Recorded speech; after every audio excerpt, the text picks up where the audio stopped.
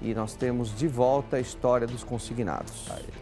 Continuamos recebendo denúncias de idosos, aposentados, pensionistas que têm empréstimo consignado feito sem autorização do idoso.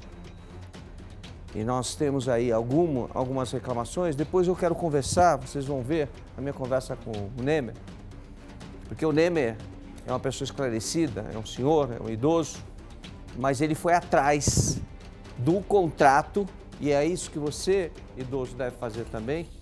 E eu vou ensinar para você daqui a pouquinho que em cima desses contratos consignados tem um seguro, tem um seguro que não pode ser feito sem autorização do idoso e eles vão ter que devolver para todos os idosos. Olha, você está acompanhando a gente, tem algum Opa. idoso em casa que está numa situação como essa? Chama para assistir, porque tem mais. Os bancos estão fazendo né, um seguro em cima do contrato consignado e isso é proibido.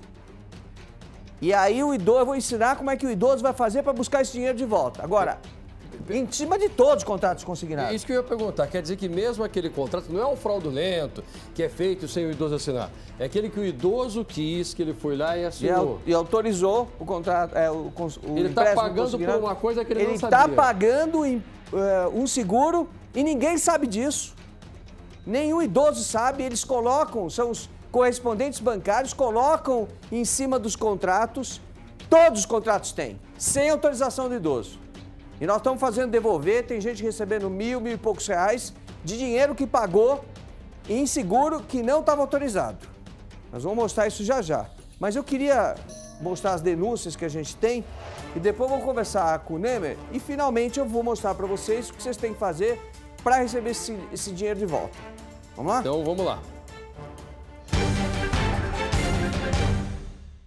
Eu fiz uma portabilidade no banco da Ecoval e eles, sem a minha, sem a minha permissão, eles fizeram um empréstimo de 24.250. Eu preciso da sua ajuda para resolver isso. A minha denúncia contra o banco da Ecoval porque eles fizeram um empréstimo no meu nome sem, sem a minha permissão e eles não ligaram para mim, não entraram em contato comigo, eles entraram nos meus dados e fizeram esse empréstimo aí sem eu saber o Banco BMG usou uma identidade vencida, falsificou a minha assinatura, depositou valores na minha conta sem eu solicitar. Eu tentei devolver os valores, inclusive através de vias judiciais, e não consegui. Eles fizeram um novo empréstimo com um novo contrato, me colocaram no Serasa, eu continuo no Serasa e eles estão descontando na folha de pagamento. Quero falar sobre o BMG. Eu fui chamado para fazer uma redução de juros, que eu tenho um consignado. Fui atendido pela Rafaela lá no, na Help, que representa o BMG, e ela pegou prova de vidas, assinaturas, e disse que estava fazendo uma, uma, é, uma, redução, na realidade não era. Ela estava fazendo, era um empréstimo, que eu não sabia. E desde então, eu fiquei pagando seis parcelas de nove de 491 reais por mês. Eu recebi uma, um consignado do Banco C6, eu nunca, nunca fiz esse consignado, no valor de R$ 33,84 parcelas. O valor que eles me depositaram foi R$ 1.425,49 desde outubro do ano passado. Ah, eu caí no, no conto do cartão de crédito. No final não era cartão de crédito, era empréstimo pessoal. Ah, no final da conta caiu dinheiro na minha conta que eu não autorizei e foi um depósito que fizeram do banco C6 e não foi autorizado esse depósito. Sou filha do seu Valdivino, onde ele foi vítima de um golpe falando que era prova de vida, só que não era. Fizeram dois empréstimos dele, um no banco C6 Bank, no valor de 14.583,80 e no Banco Pan-Americano no valor de 3.295. Um dia eu recebi uma, mens uma mensagem no WhatsApp que eu tinha, que eu tinha um valor do NSS para me receber. E aí eles me, eles me enviaram, pediram o documento, que eu tinha que enviar documento porque se, como é que eles iam saber que era eu? E aí eu enviei esses documentos, me depositaram esse dinheiro e agora o Banco Pan tá me cobrando esse dinheiro. Quanto problema. É. O pior é o seguinte, duas situações. o consignado que foi depositado na conta do idoso, que ele não autorizou, mas foi depositado, e os consignados que foram é, depositados numa outra conta aberta pelos correspondentes bancários, né, os maus correspondentes bancários, e o dinheiro foi sacado. Ou seja, tem idoso, nós vamos mostrar semana que vem, inclusive, tem idosos, não é um só, que nem viu a cor do dinheiro e está pagando empréstimo. Está pagando empréstimo. Agora, no caso do Nemer, que está aqui para falar com a gente, oi Nemer, tudo bem? Tudo bem, Celso. Como está o senhor? Tudo bem? Tudo bem. Nemer, no teu caso, falsificaram a tua assinatura, é isso? É, veja bem, deputado, eu, eh, quando eu percebi que esse dinheiro foi depositado na minha conta indevidamente, eu procurei o meu gerente para saber dele de que se tratava. E ele me informou que era o, do tal do C6 Bank.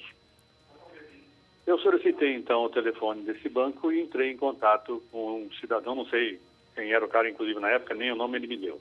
Uhum. É, eu pedi esclarecimentos a respeito, mas eles nem sequer falam com a gente. Eu tive que conversar com eles através de zap. Eu solicitei, inclusive, que fizessem o estorno desse dinheiro, porque eu não solicitei empréstimo nenhum, porque eu já tenho empréstimo consignado em outro banco, onde eu vou pessoalmente e assino o contrato, onde consta a minha assinatura e nas outras cópias do contrato tem a minha rúbrica, etc., coisa e tal. Então eu solicitei que fizesse estorno. Não fizeram. Solicitei mais uma vez, não fizeram. Como Isso é o C6, fazer, continua, que só, só cortando você um pouquinho, é C6. É o banco mais denunciado aqui. É um banco digital, fica na Avenida 9 de Julho, aqui em São Paulo, e vinha, vinha, vinha crescendo muito bem até que começou, que entrou nos consignados e começou a fazer essa sujeirada toda com os aposentados e pensionistas. Só um minutinho, Nemer, antes de você me contar, deixa eu mostrar isso aqui para o pessoal entender o que está acontecendo. Isso aqui é o contrato que o Nemer foi buscar. Aqui tem uma assinatura. Você vai me perguntar, Celso, essa assinatura é do Nemer? É do Nemer. Eles não sei como encontraram a carteira de motorista dele vencida, que eles juntaram, inclusive na defesa na justiça, carteira de identidade, a carteira de habilitação vencida, essa que eu tenho aqui na mão, vencida em 2018. Copiaram e colaram a assinatura dele aqui no contrato. Quando o Nemer pediu o contrato original, apareceu o original? A assinatura original apareceu, Nemer? Até agora não. Até agora não. Bom, o Nemer, como é uma pessoa esclarecida, foi à justiça e a justiça concedeu uma liminar proibindo que o Banco C6, está aqui, ó, proibindo que o Banco C6 continue descontando da conta dele um dinheiro que ele não utilizou, que continua depositado, né? Não, não mexeu no dinheiro, quis devolver, não conseguiu devolver. Agora o Banco C6 está proibido de fazer descontos por liminar judicial.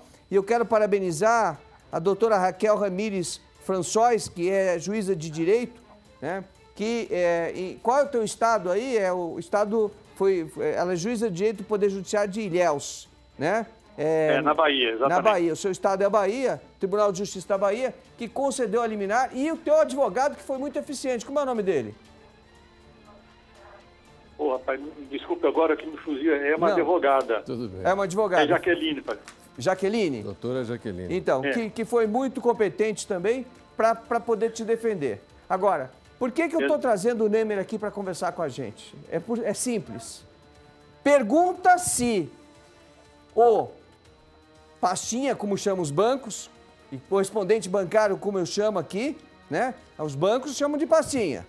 E a gente chama de correspondente bancário porque a gente tem respeito pelos bons, né? Não pelos maus. Agora pergunta se esse cara aqui, que é o cara que fez o, o agente do banco, ó, Manuel Epifânio Massi. É, Massi. Manuel Epifânio Massi. Esse é o cara, não é isso? Exatamente. Inclusive é do Ceará, porque, veja bem, deputado, no dia da audiência de é. conciliação, é, a advogada apresentou este contrato. Foi para mim foi uma surpresa muito grande. E eu disse à minha advogada que fizesse a impugnação de imediato, porque eu não assinei contrato nenhum. É. Isso, para mim, é uma fraude, conforme o senhor demonstrou aí. Pois é. Eu queria e... saber, inclusive, aonde foi que eles conseguiram uma xerox, a minha habilitação vencida, como o senhor demonstrou, para colar a minha assinatura num contrato que eu não assinei. E isso eu posso provar ao senhor juridicamente se precisar. Não, não tem problema. Está aprovado, inclusive, na, na ação judicial. O que eu vou fazer, Nemer, em relação a isso é, eu vou mandar estudo com a tua autorização para a Polícia Federal, né? Nós já temos aqui o ofício, já conversei essa semana é, com o doutor Paulo Gustavo, que é o diretor da Polícia Federal. Ele já me disse o delegado que está tocando o inquérito policial contra, contra os correspondentes bancários, que vão responder criminalmente por estelionato, né? Eu quero saber desses correspondentes bancários como é que eles conseguem nome, endereço, telefone, todos os dados, todos os dados dos aposentados. Isso é dentro do INSS. Alguém dentro do INSS está liberando essas informações, ou para os bancos, ou para os correspondentes bancários. Olha só o absurdo. Isso aqui tem sigilo financeiro, é crime. É crime liberar os dados dos aposentados e pensionistas. Agora pergunta assim: a pessoa está para aposentar, está para aposentar. Antes de sair a aposentadoria, já tem já tem correspondente bancário ligando para esse idoso oferecendo empréstimo consignado. Nem chegou a aposentadoria ainda. Portanto, a informação vem de dentro do INSS. E você se recorda aqui que eu dei uma bronca no presidente do INSS porque ele não apura nada. O INSS, a gente está aqui denunciando já faz semanas e semanas e o INSS não apura nada. Por quê?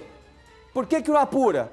Porque tem alguma coisa errada lá dentro. Alguém está fornecendo informação para os bancos alguém está dando informação dos, dos, aposentados e pensionistas, a ponto de os correspondentes bancários fazerem essas fraudes que a gente está mostrando aqui. Isso é formação de quadrilha, inclusive, formação né? de quadrilha. Formação de quadrilha, veja Agora, só. O Nemer. Oi. Oi. Ele tem um delayzinho, porque ele está longe da gente, está na Bahia. Eu quero que você fique tranquilo, quero te agradecer por você falar aqui com a gente e dizer para você, nós vamos é, juntar os outros... É, idosos e aposentados estão sendo vítimas dessas fraudes, inclusive aqueles que, além de, do empréstimo consignado, também não receberam dinheiro, no teu caso você ainda depositaram na tua conta. E os, os ah, aí fica uma, uma, uma dica para você, aproveita aí, Neymar, para você também. Eles colocam em cima de todos os contratos, sem exceção de nenhum, um seguro chamado seguro prestamista. Sabe para que serve isso? Seguro prestamista, é. não.